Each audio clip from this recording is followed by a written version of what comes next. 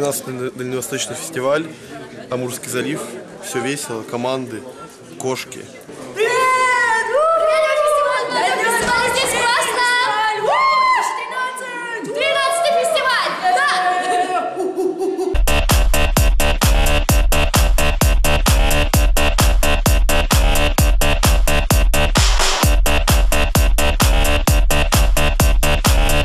Круто, классно, море позитива и...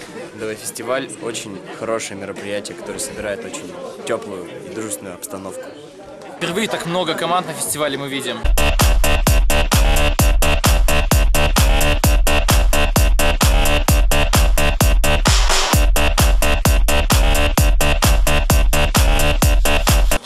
Максимум позитива.